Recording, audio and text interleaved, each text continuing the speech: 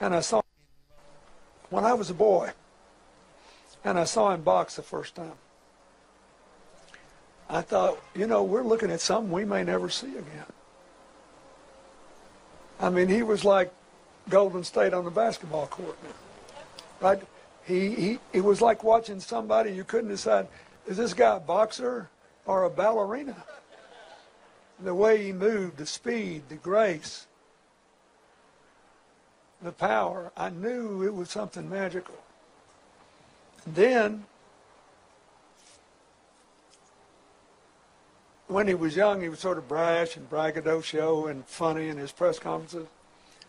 And then he became a man and serious. He developed a religious faith. He developed political convictions. He opposed the Vietnam War. He made decisions and he lived with the consequences of them.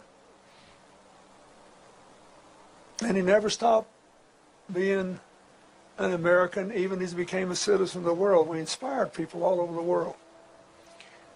And then later, he came down with his very serious health problems. Uh, when I was president, we had the Olympics in Atlanta. Those of you of a certain age may remember watching Muhammad Ali dealing with his Parkinson's disease, the last bearer of the Olympic torch up a ladder to light it. Once the most graceful, powerful athlete in the world with his hands shaking, holding on it. He did his job. And to the very end, he was actually astonishingly good humored about the burden of his later years. So by the time he died, who he was as a person was greater than his legend, which should be all of our goal in life. You want to be better than your publicity, not worse. Wow, former United States President Bill Clinton says he says he was greater than his legend, Muhammad Ali. Yes. Wow. Deep. Yes. Yeah, very deep, right? Woo. I mean, um, Muhammad Ali, I mean, fights are in and out of the mm. ring. And uh, despite, you know, fighting the Parkinson uh, syndrome yeah. for the past uh, 32 years and his recent um, visits uh, to the hospital, some of us, you know, against rational expectations, mm -hmm. expected him to live forever. you know, so, so the death has still come as a yeah. bit of a shock to us. We're trying to understand, mm. like, is he really gone? Yeah. That's how great um, Muhammad Ali was and still is. And um, yeah, it's a, it's, it's a very big loss uh, for, oh. you know, for boxing. Muhammad Ali transcends, you know, sport, nation, nationalism, mm. transcends you know, mm. race, you know. So uh, it's a massive loss, man. It's still, yeah, a lot of us are still yeah, trying to come to terms yeah. with what has happened. I remember when we were talking about it on Saturday, and you said, yeah. look, we talked about him on, mean, Friday, on Friday. I was saying this guy's what it takes. And confidently, to respiratory said, illness. He's been fighting Parkinson forever, and it was exactly. doing great. Yeah.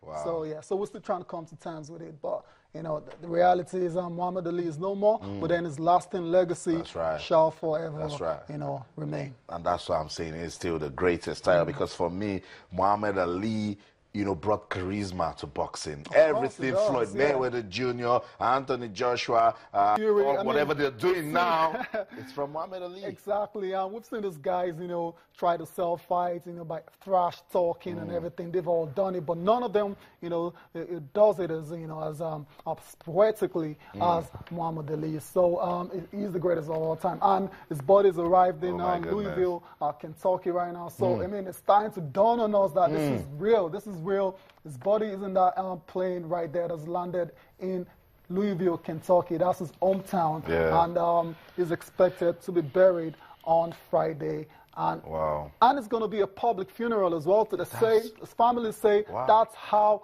he wanted it. That's how oh he wants goodness. it, and he's going to get his um, wish on Friday. And if you anywhere in the world, if you want to attend, you know, the funeral of um, Muhammad Ali, you know, start booking your mm. flights mm. to Louisville, Kentucky. So the funeral service um, will be at the KFC Yum Center, which seats more than 20,000 you know, people, Yes. and will be live streamed at the center's website. So, So- Muhammad Ali will live forever. If you have this sort of life and everybody, I don't know who is influential in the world today that hasn't said a word or two about this legend. I, I don't know myself too, Yeah. Austin. I mean, it's incredible. That's why I said earlier that it transcends, you know, the bounds of sports, race, and nationality. Wow. He's just a man. It's going to be historic. You know, the, the, Mm. the burial is going to be historic as well. So, like I said, it's going to be streamed. So, if you can't make it to Louisville, you know, go on your computer, be a part of history, Mm. you know, to see when uh, Muhammad Ali uh, finally goes home. But for us boxing fans, yeah, it's gone, but then it's still around. It's still alive. Wow. His legacy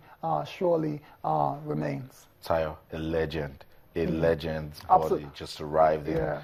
Louisville, Kentucky. Uh, what a story! What a story, Even yeah. at 74, Yeah. people wanted more from this guy, you know, and just it just goes to show that when you have an opportunity to do something, do it right. Yes. We heard Shawn Rapha saying this is a guy that pulled out of high school, and then people with PhD, they're living on the things he said. Uh, yeah, that's it. Wow. I mean, it's got quotes for days. Also, Ugh. We can do a show. Injure the stone, I can make a medicine sick. We can do a show. I Wow. mean, uh, one of my favorite is he said, he said, I don't like boxers to talk too much because that's my job. Just shut up, let me do the talking. Oh my God! I like the one that says, does it say, "I man? need to know how tall you are, so that when I knock you down, Yeah. I need to be far, far off, so you don't follow me." Incredible oh my stuff. It's got God! Mm. quotes for days. Um, Yeah, uh, you can understand why um, he's generated all this um, yeah, attention and all these tributes are coming in from all over the world. Wow, Muhammad Ali said, "Don't count the days, make the days count." Mm. What a story! What a life Muhammad Ali lived for.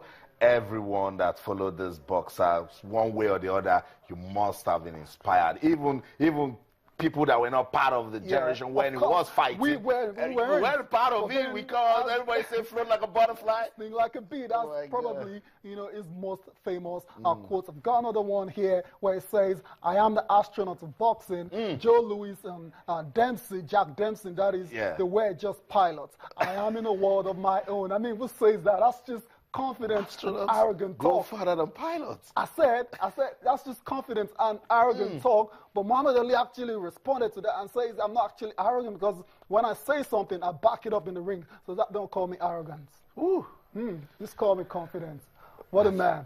What a story. What a story. we'll keep celebrating Muhammad Ali, the greatness of Muhammad Ali. What legend. When you talk about a legend, this is Muhammad Ali and his life right there. We're done with Shawn Rapha in Dubai. Let's go to uh, London, United Kingdom. Olusegun Ajose is a professional boxer also. He's been there, done that with boxing and a champion in his own right. He will be joining us now to talk about the legendary Muhammad Ali. Good morning, uh, Ajose, and welcome to the show. Good morning. Thank you for having me. Okay, we are celebrating the life and times of Muhammad Ali. What do you remember when you think of the boxer? Well, uh, Muhammad Ali, uh, just as everyone knows, uh, he is the greatest. Uh, it's one thing to uh, to call yourself the greatest. It's another thing to prove it to the whole world that you're the greatest. So uh, uh, people call him arrogant, but he's not an arrogant man. He's a very, very confident man. He believes in, in himself, and he proves it to the to the whole of, to the whole of the world that he's the best and he is the greatest. Nobody can ever be uh, like him. He's he's one of a kind. Uh, it's one thing to achieve greatness. It's another thing to achieve immortality. Muhammad Ali has achieved immortality. Hmm, As a boxer, uh, just Ajose, what what are the things you learned from you learned from Muhammad Ali that you used inside the boxing ring? Uh, yeah, I was doing the Ali shuffle, you know, uh, when I was in the, uh, my amateur days, and I adapted his uh, his shuffle to my to my own style. Uh, he, he's a wonderful boxer, and uh, I learned from him that you don't have to do the conventional guard guard up, which is just to hold your hands up, you know, as a guard. He was using his his movement more as a defense, and his reaction, his reflexes as a, as a defense, and then using uh, that as a counter attack. So I learned that from him, and I adapted it to my own style. Okay, uh, Segun, tell us, um, what is your greatest uh, memory of Muhammad Ali in the ring? Yeah, well, I remember the one I watched. Obviously, I'm too young to know uh, to to watch him live. Uh, so I remember some one of the videos I watched, and it was telling, and one of the opponents called him uh, uh, Cassius Clay. And in the ring, he was he was beating the guy, and he was asking him, "What's my name?" he was beating him. He was, "What's my name?"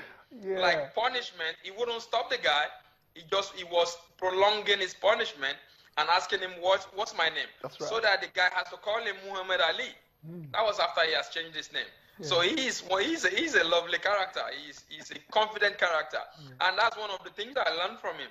Uh, I you know I learned how to, how to be confident about yourself and also how to say things the way it is, standing up for what you believe. Mm. Muhammad Ali, you know, uh, uh, his legacy goes beyond boxing. He's, he's a wonderful human being. He's a man that, that shows us that you need to believe in, you, you need to stand for what you believe.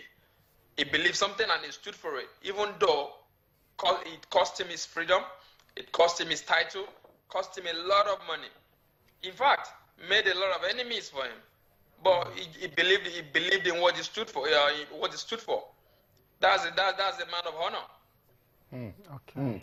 Olusegun, I, I, just said, let's look at um, the life he lived outside boxing. Was it uh, was it part of what made him a great person? Ah, I have I have not heard of anybody that said anything bad about about Muhammad Ali. Both uh, living living boxers and the past uh, boxers. Uh, everybody uh, have always said some, uh, something very good about him. I I didn't get the opportunity to meet to meet him. He was one of the two people I wanted to meet in my life, and I didn't. The second being Nelson Mandela. I met the likes of, Sugar, the likes of Sugar Ray Leonard, uh, Marvin, uh, Marvin Hagler, uh, uh, Azumah Nelson, but I didn't get to meet Muhammad Ali. Uh, that's one of my uh, one of my downside in boxing. Uh, you know, the man is, you know, he, he, whatever, what he does transcend beyond boxing. He's a lovely human being. Muhammad Ali, based on what I heard from other old boxers, will do anything to help. He wants to help as more. Uh, he wanted to help as many people as possible. And what what he was known for was preaching love. Uh, it doesn't matter your race. It doesn't matter where you're from. It doesn't matter your religion. He preached love. Mm. you know, it's all about love for Muhammad Ali. Okay. It's all about equality, justice, and love. Hmm. Come on, okay. that man is beyond. He's, he's beyond boxing. He's a hmm. champion in the ring and outside the ring, and that's another thing I learned from him. That you don't just have to be a champion in the ring. Hmm. Outside the ring, you got to be a good champion as well. Okay, Segun. I mean, Muhammad, Muhammad, Ali was involved in a lot of great fights, a lot of wars, and uh, out of all those fights, which one do you think, you know, was his um, toughest? Uh, I think there was a fight. I can't remember the name of the opponent. There was a fight. then they were doing 15 rounds, and the fight was so hard, and he he wanted to quit in the corner. He just he, he just said to himself that okay, you know, I'm gonna go one more round after this next round, I'm gonna I'm gonna quit. But fortunately for him, the opponent quit in that round. The opponent stopped in that round. The opponent couldn't come out, and that that shows how hard boxing is. You know, to you got to give everything you got. I can't remember the name of that opponent. I can't remember the name of that opponent uh, right now, but I can remember that fight clearly when I watched it.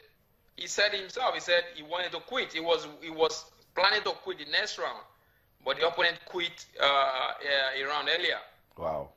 All right. Thank you so much, Olusegun Ajose, for giving us time to talk about uh, Muhammad Ali. Thank you.